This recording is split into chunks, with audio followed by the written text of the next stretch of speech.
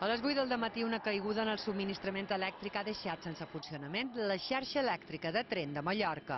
El primer a aturar-se ha estat el que enllaça Manacor i Palma. hem partit de Manacor a les 7 i 20 i tot anava molt bé fins que hem arribat al Laró i s'ha aturat quasi una hora i ara són les 10 menys 20. També han quedat aturats a mig viatge tres convois més. El d'Inca, el de Sa Pobla i el que connecta Palma amb la capital del Reguer. Ni que un transformador s'havia espanyat a Inca hem estat de 40 minuts aturats a la parada de Consell. A causa de l'avaria, Serveis Ferroviaris de Mallorca ha suprimit 10 trajectes més. El servei de trens no ha pogut avisar els usuaris des de les pantalles i ho ha fet a través del seu compte de Twitter i de la megafonia de les estacions. SFM diu que la caiguda del subministrament està relacionada amb l'incendi de la subestació de Son Costa el passat 1 de maig. Aquest incendi va provocar que cinc trajectes del tren express entre Inca i Palma s'haguessin de suspendre. Per aquest motiu, ara és l'estació d'Escaulls la que subministra l'electricitat de manera provisional i no ha donat a l'abast. El conseller de Mobilitat Marc Pons ha demanat disculpes als usuaris.